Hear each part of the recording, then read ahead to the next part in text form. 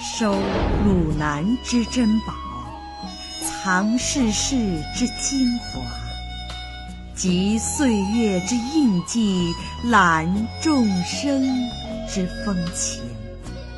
生活全接触，让文化不再尘封。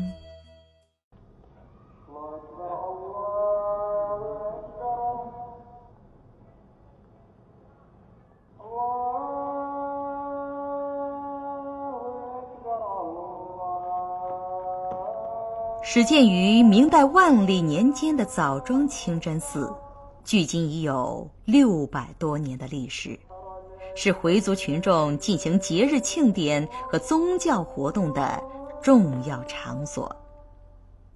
虽然数百年来清真寺历经过多次战火硝烟的侵袭，但它依然如同千年的松柏一样巍然耸立、坚韧。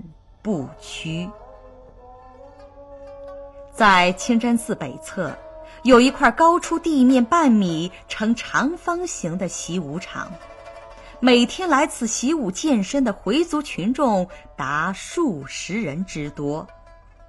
他们有时三三两两单独交流，有时又像做操一样集中演练。那么，这些习武者练的是何种拳术？为什么会有这么多人对这种拳术情有独钟？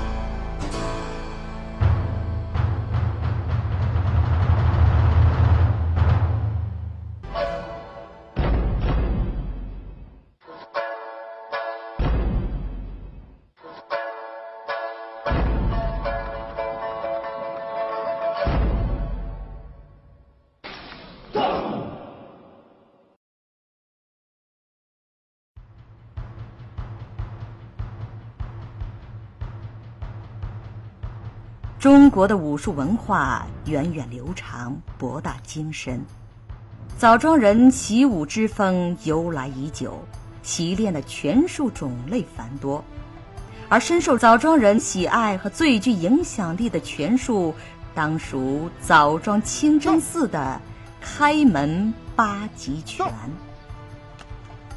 那么，开门八极拳起源于何处？由谁所创？何时传入枣庄？而今又是怎样的一番景象？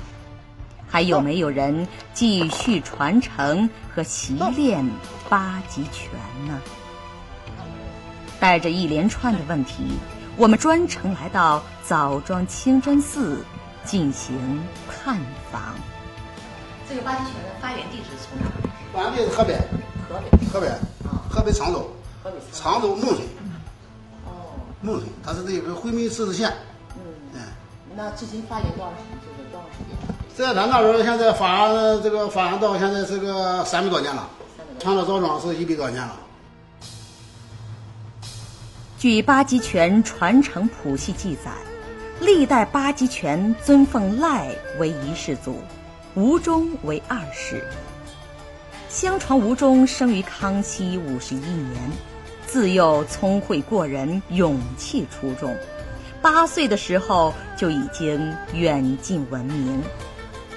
后来，他跟随明末清初一位化名为赖的和尚学习功夫，尤其擅长赖的枪术。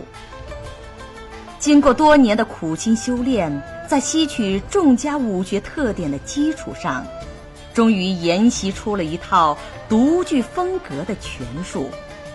并开立门户，自称为八极拳门。后来由于战乱，吴家迁移到了河北沧州孟村回族自治县，开始广收门徒，传授武艺。也就是从这个时候开始，在门派林立、枝繁叶茂的中华武术中。八极拳以其独特的风格和技法，成为仅次于太极拳的第二大传统武术。原都在回民范围之内传传授，后期就是传传播那个了。回汉现在都练，呃，不分回不分汉，哎，这个八极拳都能练。走，走。经过历代八极拳传人的刻苦钻研，八极拳门涌现出了众多的武术名家，不仅在武术界拥有着至高的地位。在风起云涌的中国历史中，也产生了深远的影响。清末民初，号称神枪里的一代宗师李叔文，凭借他登峰造极的八极拳术，成为八极拳史上无可争议的巅峰人物。李叔文最得意的大弟子霍殿阁，苦练六合大枪。一成之后，跟随师傅行走江湖。一九二七年，霍殿阁因打败了宣统皇帝溥仪身边的日本武士，而成为溥仪的武术教师兼贴身侍卫，号称康德第一保镖。李叔文最后一个弟子刘云桥，曾经出任蒋介石侍卫队武术教官。而与刘云桥同时跟随李叔文学习八极拳的李建武，却戏剧性的成为了毛泽东的警卫员。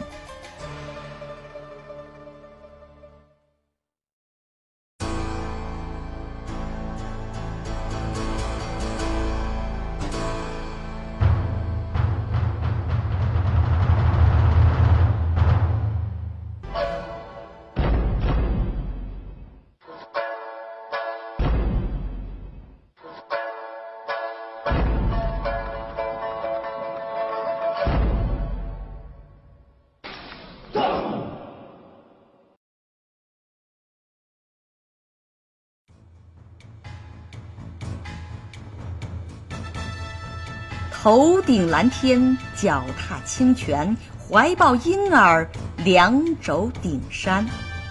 八极拳的一招一式，皆由无字变化而来，发力可达八方极远之处。这个八极拳是有有一类方式的，咱中国这个右拳用十大拳种，这个八极拳就是就是里边就哎就其中之之之一。这个黄帮这个创北斗和黄帮创刀山，哎。就是说这个八极。哎，这个这个这个这个形容的这个一就是一一斗王子，那个山甚至那都都都能晃，哎，都能晃晃到了。跺脚震九州，哦，他形容这种气势。八极拳属于短打拳法，动作刚劲凶猛，是一门爆发力极强又非常讲求实战的拳种。它以头脚作为乾坤。肩膝肘胯为之四方，以意领气，以气催力，气势磅礴，给人的感觉浑身是眼，通身是手，动则变，变则化，化则灵，奇妙无穷。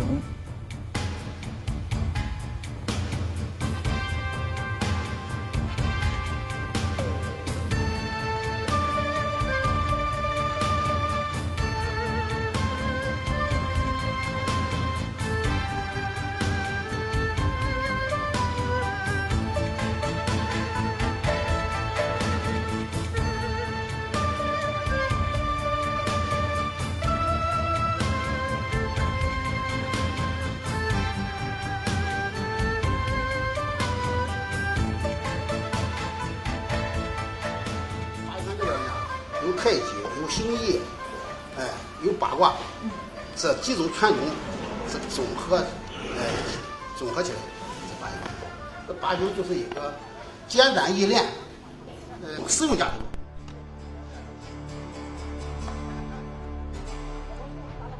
八极拳非常注重攻防技术的练习，在技击手法上，它讲究寸节寸拿，硬打硬开。见缝插针，见招打招，非常富有技击性。而现代部队武警所操练的擒拿背摔、格斗技术，大都吸收了八极拳的一些特点。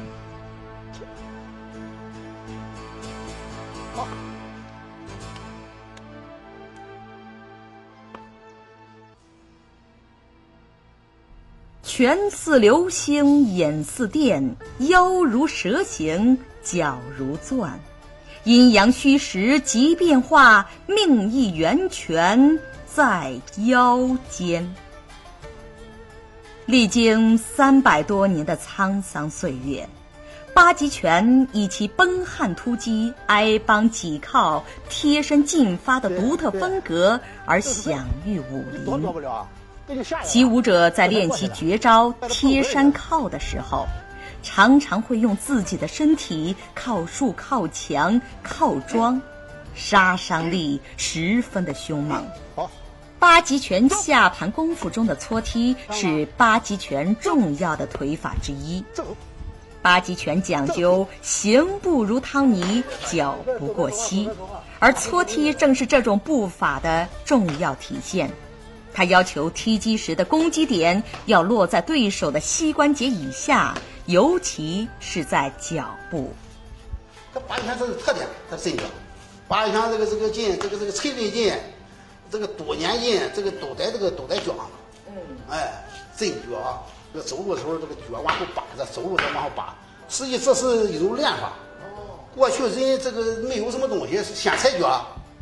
包一踩一脚，你你一疼往下一下腰，包他一磕头，嘣，正好碰一脸，脚疼的不成，眼泪哗哗的。他经常练，他那个脚壮，